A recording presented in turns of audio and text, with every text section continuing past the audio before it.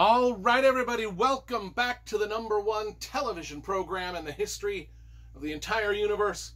I am Brian Lee Durfee, author of The Forgetting Moon, The Blackest Heart, and The Lonesome Crown. All three books published by Simon & Schuster's Saga Press. Now, today I'm going to be doing... well, this is probably one of my most requested videos over the past couple years. Um, so to set the video up uh, about two years ago, well, long story short, I'm going blind. now, if you want to um, watch the original video I made about two years ago on the subject, I will provide a link. One of the rare one of the rare times I provide a link. I will provide a link to that video in the description below. That'll give you an idea of um, the disease I have. In fact, I'll provide uh, two links.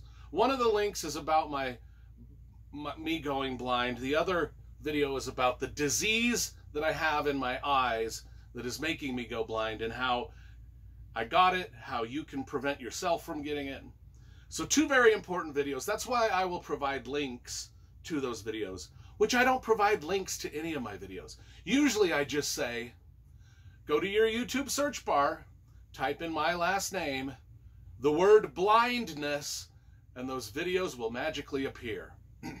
now, you can still do that, and those videos will magically appear. I will provide the links, though. That way we don't have to rehash all of that material. Long story short, I have a disease in my eyes that's causing me to go blind. You can look at those other videos if you want the details on that. Um, I made those two videos a couple years ago. People were very concerned. I thank everybody for all the well wishes. I appreciated it. Um, as you can see in those two videos that I made, I was pretty upset about the the um, inevitable fate of my um, sight. And um, so I wanted to give you an update of what's happened in the last two years in regards to my slow degenerative eye disease and where we stand, because a lot of you have been asking. So here's the deal. Um, I get um, the disease that I have is called retinal vein occlusion. It's in the eyes. It's basically I have strokes in my eyeballs. It just causes havoc in the eyeballs. Once the strokes happen, whatever damage the stroke causes is irreversible. Um, there is a medicine, however, that you can take that um, slows the swelling and the liquid buildup in your eyes. Uh, that's that's that's it in a nutshell. I won't get it there. I've got those other videos you can link to if you want more details on that. But anyway, this medicine gets injected into both eyeballs with a needle every two months. It used to be every month, but we've backed off to every two months now, which is part of what I'm going to talk about. Um, this medicine there's no promise that will solve anything. There's there's no promise that will even slow the swelling down. It's just it. But the thing is, is it works off and on for me, and it's worked well enough to keep at least the sight in my right eye still okay. It's not great. It's I mean my left eye legally blind. I, I can't see all out of that. I mean it's blurry. I mean I could close this eye and look around, and I can I could maybe tell what would be going on on a TV screen, maybe if I really concentrated, but it would be difficult. Like if I was watching a football game, I'd be relying more on the narrators of the game rather than the visual of the game. If just if I was just using my left eye. My right eye is doing 99.9% of my seeing, and it's doing okay. The medicine is doing okay in that right eye. But I will say we get scans every two months of how my eyes are doing, and my left eye just keeps getting worse, worse, worse, worse, worse. My right eye, every some months it's good, some months it's bad, some months it's good, some months it's bad. It's just sort of maintaining at the moment. The reason I wanted to do this video is because the, over the last week and a half or so, I, I, have had some struggles with my eyes. Um, it would noticeably getting worse, uh, the pain getting worse, uh, the pain when I do certain things getting worse. And I want to talk about that because that that's a little bit of my future. Um, and in my previous videos, I talked about how the problems with my eyes had stopped me from doing artwork and a lot of my illustrations and the stuff I was doing for Magic the Gathering and stuff. I stopped that. Um, and you can watch it again. I'll link to the video where you can watch all that.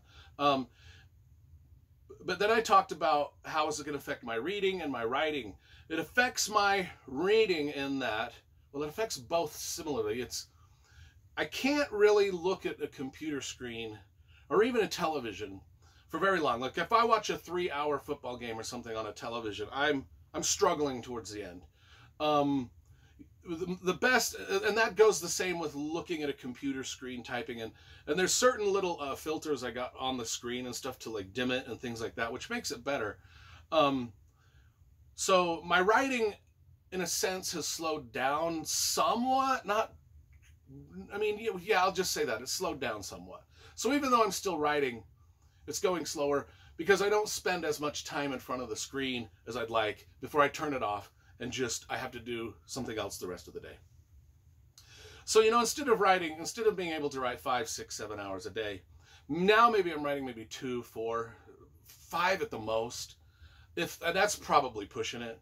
Um, what's crazy is the crazy thing is um, reading a book, reading paper, like reading just out of a book, actually for some reason relaxes my entire body, including my eyeballs. So reading reading isn't a problem. I mean, I'll never use an e-reader. Sometimes I do use uh, Audible books. I, I, I listen to a lot of books. But for the most part, just sitting down and reading the book, a book out of a printed page, is very soothing for my eyes. Um, so my reading hasn't slowed down at all. If anything, my reading has picked up in pace because I'm doing less writing and more reading. Um, so that's kind of the update. Uh, not totally blind yet. I'm still just crossing my fingers and hoping that day never comes. I got, I know, I mean, I'm middle aged. I think I might have, if I'm lucky, another 40 years left. I don't want to be getting those. I don't know. There's no other choice, but I don't want to be th- those the inject the needle injections in the eye. Th- those are no fucking joke, people. Those hurt like a mother. They are painful. Um, some some people can get needles in their eye and they don't even care. Um, but I mean, they gotta strap me down to a gurney and have my head in one of those NASCAR Hans devices so it can't even move, and then clamp my eyes open, and then the needle. I mean, oh my God, it is a fucking horror show every two months. And I, 40 more years of that, 30 more years of that, I guess I got to. I mean, uh, just I but that's one of the reasons I made this video is because I went yesterday and had the needles in my eye and it made me think of, of you know the videos I made previously and how many people wanted an update and I was like well I better make an update um, so that's the update I mean it is what it is I mean I just feel lucky that I can still see out of one eye I feel lucky that that's the only medical problem I have when there's worse ones in the world. And, um, you know, because everybody's going through something. And so I can't be like, woe's me. I got to look at the positive. The positive is I can still write. Um, if I pushed myself, I probably still could do some artwork. But I've decided to just shelve that for the rest of my life, concentrate on the writing. And reading is actually the most therapeutic thing that I've got going for the problem, which is great because I love that's my main passion in life at this point. Um, so that's the update. Um, and I hope you do click on those other links and, and watch my other two videos about what the details are of my disease. Okay, so anyway, thanks for watching, and we'll see you next uh, tomorrow on the next video.